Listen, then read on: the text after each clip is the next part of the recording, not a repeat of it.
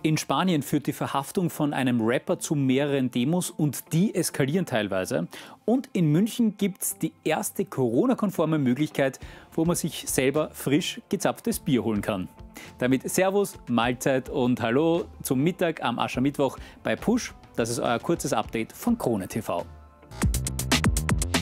Müllcontainer brennen, Straßen sind blockiert und Polizisten werden mit Steinen, Flaschen und Böllern attackiert unfassbare Szenen spielen sich gestern in Barcelona ab.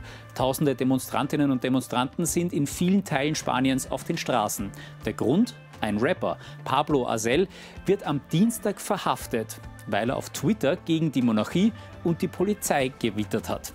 Die Regierung von Spanien kündigt an, das Strafrecht reformieren zu wollen. Verbale Exzesse im Rahmen künstlerischer, kultureller oder intellektueller Aktionen sollen dann nicht mehr strafbar sein.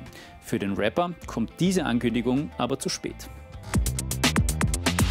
Zum ersten Mal seit fast einem ganzen Jahr wird er nicht mehr in den Top 3 der Welt sein. Dominik Thiem verliert ja am Sonntag im Achtelfinale in Melbourne bei den Australian Open. Der Russe Daniel Medvedev setzt sich dabei aber gestern schon im Viertelfinale durch und überholt damit den Niederösterreicher im ATP-Ranking. Die nächsten Chancen auf Punkte hat Dominik Thiem bei den Turnieren jetzt in Doha, Dubai und in Miami.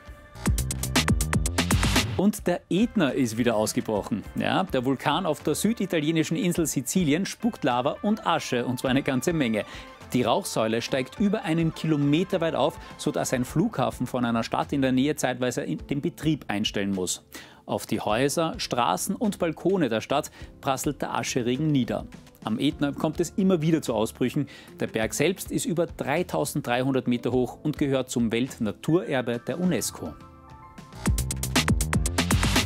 Frisch gezapftes Bier.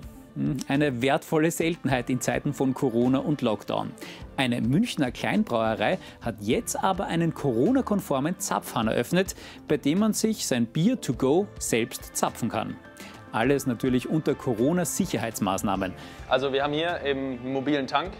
Äh, der ist mit zwei weiteren Firmen entstanden und du hast hier frisches, frisches Tankbier ähm, dass du dir per App eben zapfen kannst. Was du dazu tun musst, ist nur die Broy-App runterzuladen, ähm, dir dann Guthaben aufladen per PayPal oder Kreditkarte und dann kannst du, wenn du den QR-Code scannst, direkt per App zapfen und auch kontaktlos bezahlen. Also das ist auch eben ganz Corona-konform. Fast alles funktioniert da kontaktlos per QR-Code und per App.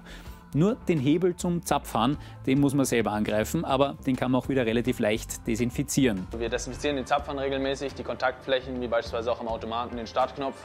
Und deswegen wird das alles überprüft. Du hast aktuell wegen Corona eben nur Plastikbecher. Wir sind schon nach einer ja, nachhaltigen Lösung auf der Suche.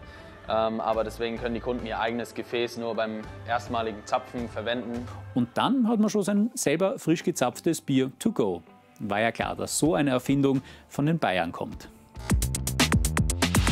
Das war Push für jetzt mal. Wir sehen uns dann gleich wieder mit dem nächsten Update von Krone TV. Also bis gleich.